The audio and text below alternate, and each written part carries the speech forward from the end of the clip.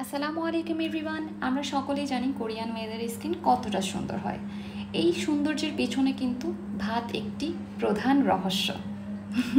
তো চলুন আজকে আমরা ভাত দিয়ে বা চাল দিয়ে একটা ফেস প্যাক তৈরি করি। তার জন্য এখানে আমি তিন চা চামচ চাল নিয়েছি। মূলত আমরা এই চালটাকে ধুয়ে টুয়ে ভাত রান্না করব। আপনারা কিন্তু পারেন যে যখন ভাত রান্না করবেন, ভাতটা থেকে মানে ভাত থেকে ফ্যান ঝরানোর আগে ওই মুহূর্তে আপনারা কি করবেন? কিছুটা ভাত উঠিয়ে পানি সহ ব্যালেন্ডারে ব্লেন্ড করে নিতে পারেন।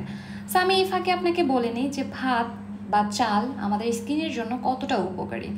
এটা কিন্তু আমাদেরকে ব্রাইট করে, ইয়াঙ্গার লুক দেয়, বয়সের ছাপ কমায়, ডার্ক সার্কেল রিমুভ করে আরও অনেক কিছু।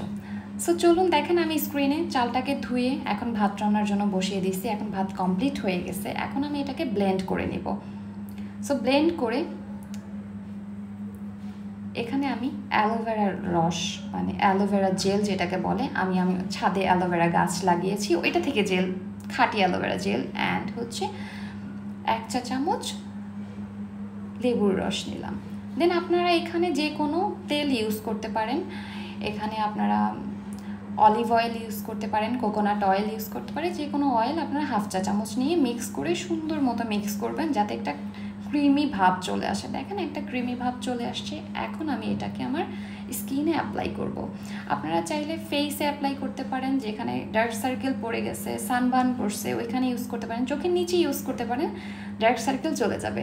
আমি গ্যারান্টি দিচ্ছি। সেভেন ডেজ আপনারা ইউজ করে দেখবেন অ্যান্ড আমাকে কমেন্ট করে জানাবেন যে আপনারা কতটা ব্রাইট কতটা সুন্দর, কতটা বেবি বেবি স্কিন পেয়েছেন।